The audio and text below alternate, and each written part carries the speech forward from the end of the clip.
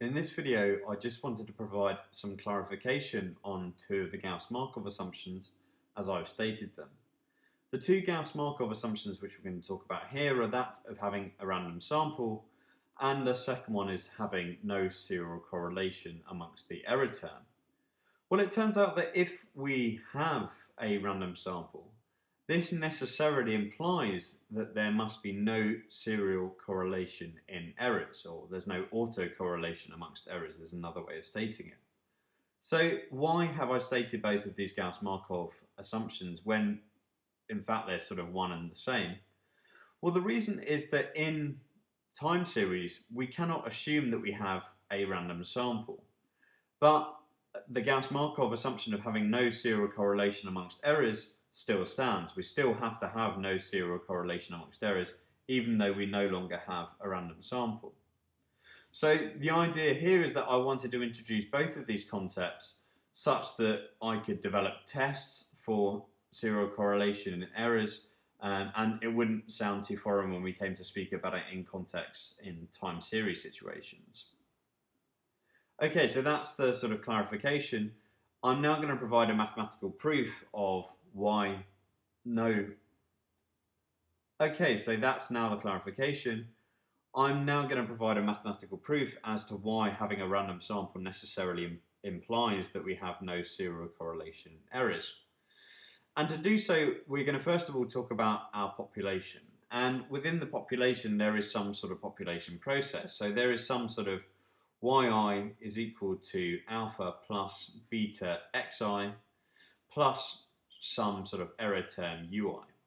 A random sample from that population is defined as a set of n individuals, and for each of those individuals, we have a value of xi, the sort of independent variable, and yi, the dependent variable. And the idea is that each of these individual draws from the population are independent of one another and they are identically distributed. So the identically distributed part, the ID, means that each of the individuals comes from this population process. The first I means that the observations are independent of one another. What does independence actually mean mathematically? Well, independence means that the expectation of yi with yj is equal to the expectation of yi times the expectation of yj. So that's what it means for yi and yj to be independent. And importantly, this is obviously for the circumstance where i does not equal j, because if i did equal j, they very much would be dependent on one another. Okay, so what does this imply for the covariance between error terms? In order to work this out, first of all, we need to work out what is the covariance between yi and yj. Well, if you actually work through the definition of the covariance, it just means that this is given by the expectation of yi times yj minus the expectation of yi times the expectation of yj. And since we know from the above expression that the expectation of yi times yj is equal to the product of the two expectations, it's easy to see that this covariance term is going to be zero because if I was to take over to the other side this sort of product term here, I'd just be left with zero on the other side. So yi and yj being independent implies that their covariance must be zero. Okay, so how do we use this to help us find out what the covariance between two of the errors is?